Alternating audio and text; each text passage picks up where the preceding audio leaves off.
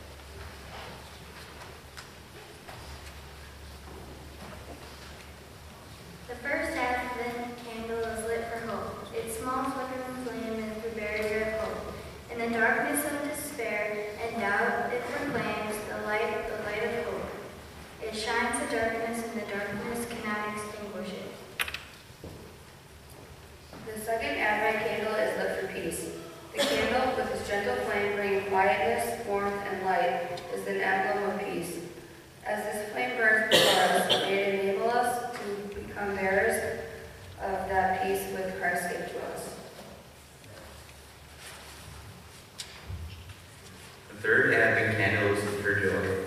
The lighting of a candle is a joyful act, it marks celebratory occasions such as birthdays, anniversaries, and great festivals. We light this candle in the name of the one who, out of sorrow and pain, has brought us joy. May the flame that now burns burn brightly to bring light, and joy to. Let joy fill every yearning heart as we look to the coming of God's kingdom. Let us pray. We praise you, O God, for this marks our days of preparation for Christ's advent. As we light the candles of the, on this strengthen our hearts as we await the Lord's coming glory. Enlighten us with your grace that we may serve our neighbors in need. Grant this through Christ our Lord, whose coming is certain and whose day draws near.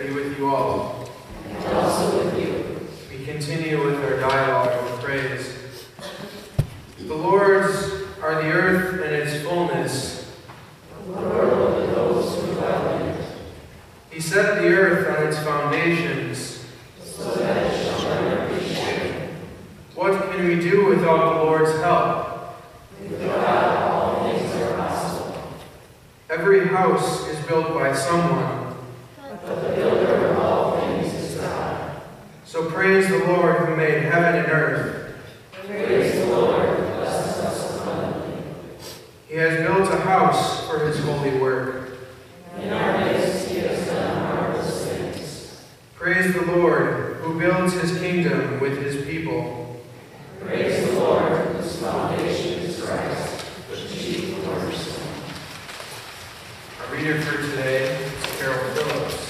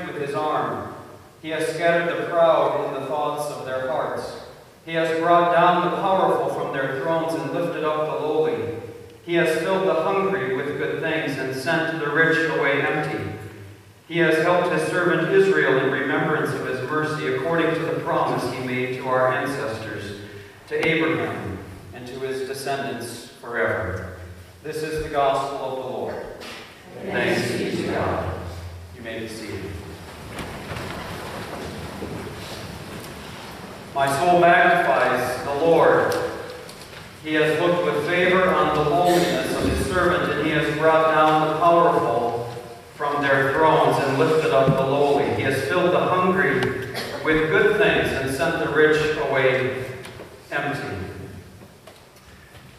So, this is one of the first portraits that we get of Mary, the mother of Jesus, and her words, this dramatic song that she sings for us this morning. There aren't many modern dramatic portraits of the Nativity other than the annual Christmas pageant, which will be presented in most churches sometime in the next two weeks. Uh, here at Grace Lutheran, it'll happen later this morning. And it is maybe the most wonderful, certainly the most chaotic event in the sanctuary all year long.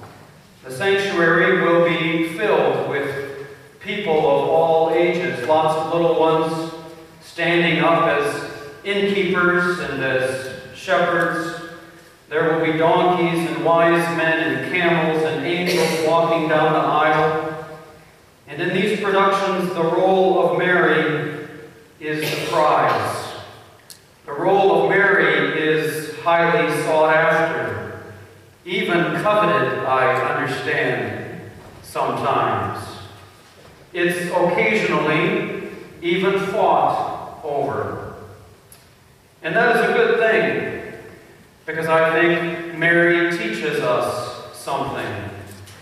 Mary teaches me, Mary teaches all of us never to underestimate anyone, never to discount anyone's potential, even the smallest, to reveal God's truth in the world. Mary teaches us about God's goodness and grace, and how in the smallest and the weakest and the most vulnerable, that grace comes to us. But I wonder, how can Mary sing this song that she sings? How can Mary sing that the Lord has done great things for her? I mean, it's a little crazy. How can this young, lower class girl who finds herself unwed and pregnant sing that God has already, in the past tense, done these things for her? That God has already, in the past tense, ended injustice and oppression. I mean, all she has to do is look around to find evidence to the contrary. How can Mary sing that the Lord has already done great things for her? Well, Mary is the one person in all of history who knew Jesus every single day of his life. She knew Jesus every single day of his life. She carried him in her womb. She gave birth to him in the same way every human being comes into the world with labor and with pain and the first breath and his first cry. She nursed him, she cradled him, she bathed him, she sang songs to him. Mary prepared food for him, fed him, showed him how to drink from a cup, showed him how to use a spoon, held his hand when he took his first step. Mary smoothed his garments to make sure that he looked okay when he went out. Mary smoothed Jesus' hair, probably even washed food from his face with her own saliva, as my mother did to me, to my everlasting irritation. Mary knew Jesus every single day of his life. And Mary presided over the little home in Nazareth as he worked in his father's carpenter shop, learning the carpenter trade. She followed him all the way to Jerusalem and watched the terrible holy events of that week. She was there in the crowd when he was led to his trial. She was there when he was nailed to the cross and refused to leave him. When all the others, Peter, John, James, all of them, when all of them fled, Mary stayed. And after Easter, after the resurrection, she was part of that little band that refused to believe that Jesus was dead, believed that he was alive and with them. And she decided to give the rest of her life for him and to suffer whatever came of it to him and to the good news that her son taught and lived. This news of God's love and of God's coming kingdom. So she could sing, My soul magnifies the Lord. That was Mary's song. She not only sang that song, but she lived out that song in her entire life.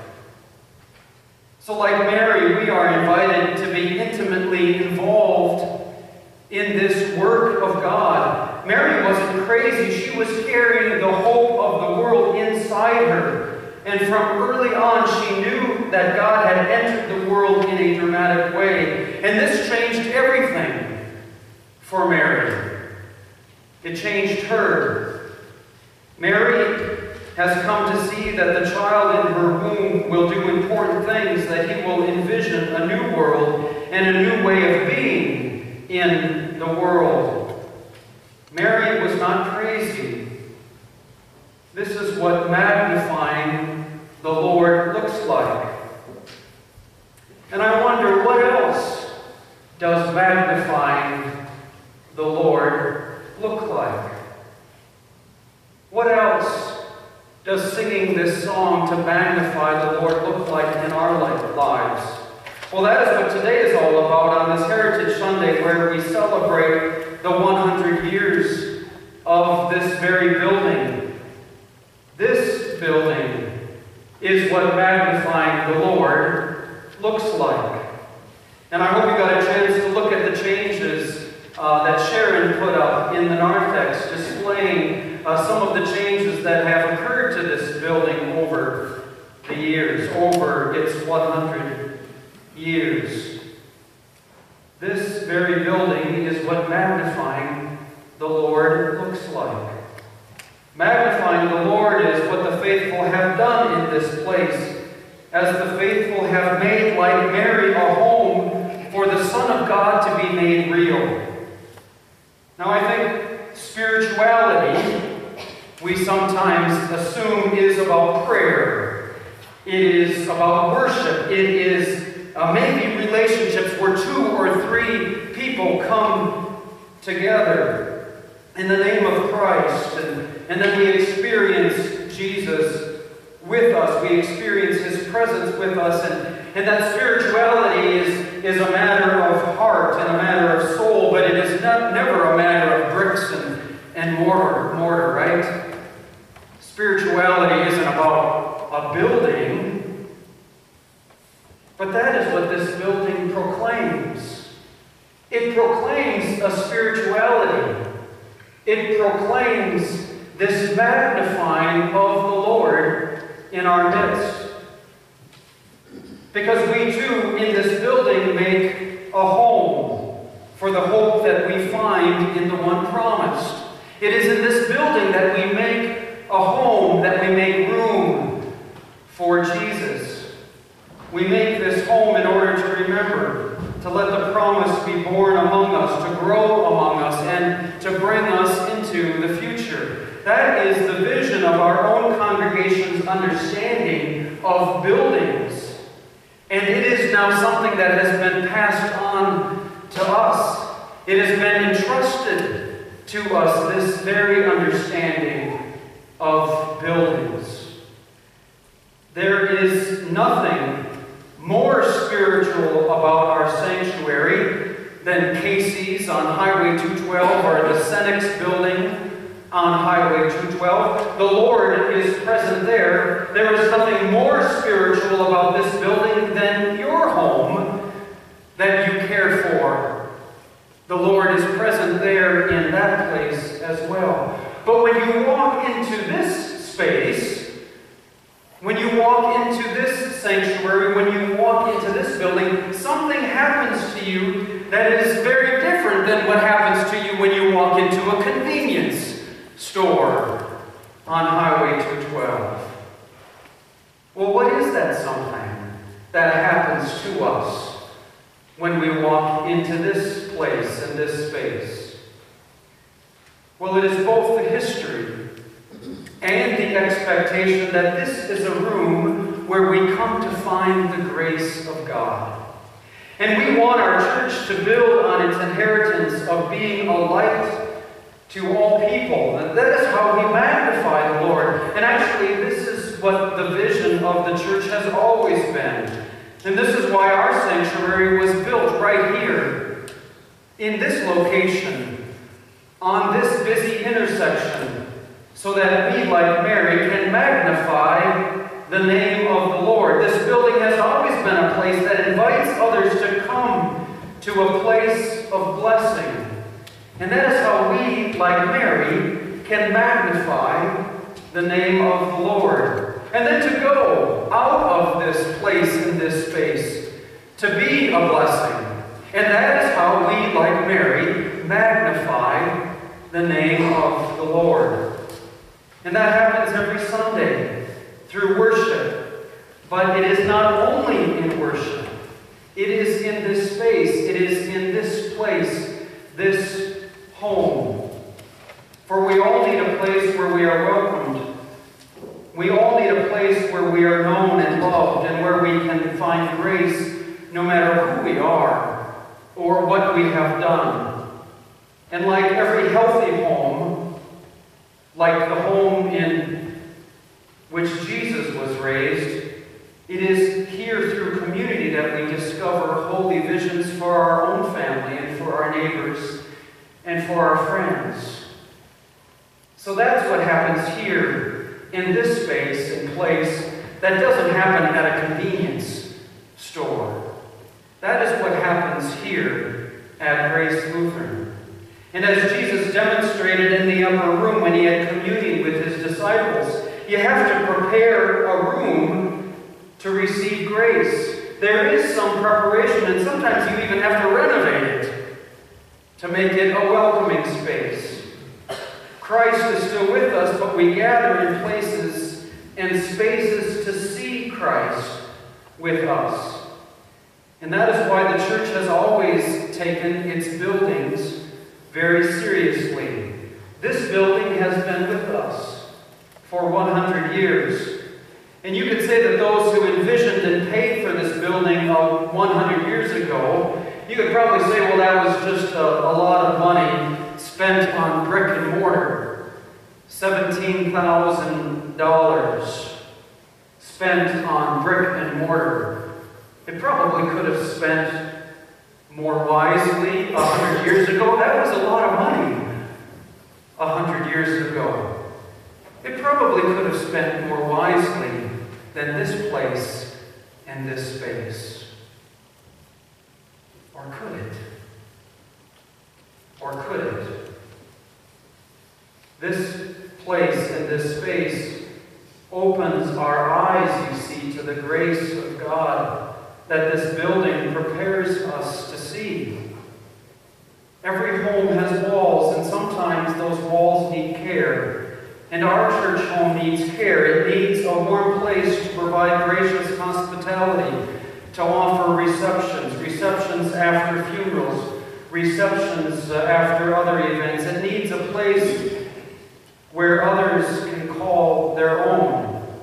New and more updated facilities for experiencing loving fellowship and hospitality and education and providing a place and a space for God's grace. It's not just the space, but it's the community, you see, that's developed here within this space that opens our eyes to see God's grace. No one is interested in renovating the church just because they want it to be nicer.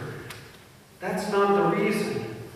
But we are very interested in raising the next generation of faithful disciples.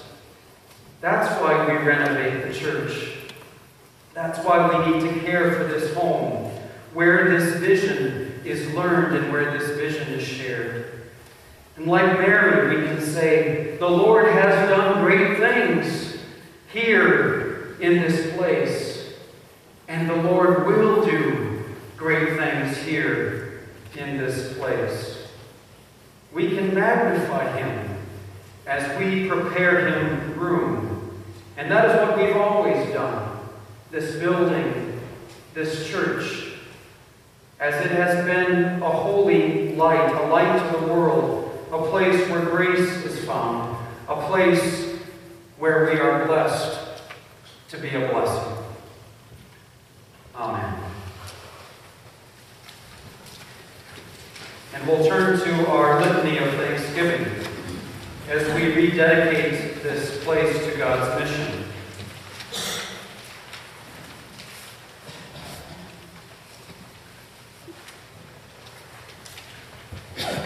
Brothers and sisters in Christ, the Lord God has blessed us with this house of prayer for 100 years.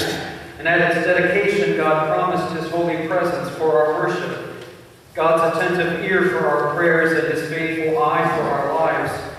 Here we have heard His holy word for our lives. Here we have communed with our risen Lord. Here we have all been blessed. Let us therefore give thanks to Almighty God for all that this place has been for us and rededicate our lives to the mission that has formed us as Grace Lutheran Church and brought forth this beautiful building that God has entrusted to us. Let us pray. Almighty God, yours is the glory and the power. You are the great builder of the worlds and the great architect of our lives and our salvation. For calling us to be the church of Jesus Christ in this place, We give you thanks, Lord, for giving us a beautiful house of prayer and worship for these 100 years. We give you thanks, O Lord. for providing a holy place in which to bring our prayers, confess our sins, and find your presence. We give you thanks, O Lord, for providing a sacred place to worship your name, to baptize our infants, to marry our children, and to bury our loved ones. We give you thanks, O Lord. for providing an empowering place to hear your word, grow in faith, and be challenged in mission. We give you thanks, O Lord, for inspiring those who came before us with the vision to build and the means to accomplish it. We give you thanks, O Lord. For blessing those whose knowledge and gifts, whose sweat and labor made this place all that it is. We give you thanks, O Lord. Inspire us by their vision for mission in this place. We dedicate our lives to your service. Inspire us by your continued presence in our lives and in this house of prayer. We dedicate our lives to your service. Root us in the foundation of Jesus Christ. We dedicate our lives to your service. Empower us to reach out to the poor and needy, the sick and the dying, who so need the good news of your love. We dedicate our lives to your service. Use us as stones of the church in the world, bringing forth good fruits that we might offer them here at your holy altar. We dedicate our lives to your service. Use us to proclaim your holy name and to touch people's lives through our example and faith with the life-giving gospel of Jesus Christ. We dedicate our lives to your service. Holy God, Creator Lord, you bless us in so many ways gifts, and in particular, you bless us with the gifts of this house of prayer. As we come and go from this place, may we know your presence always, find consolation for our weary hearts, and be empowered by your holy word and sacraments to go forth to serve you in the world, that your name might be glorified and your kingdom increased. Through Jesus Christ our Lord, who lives and reigns with you in the Holy Spirit, ever one God, now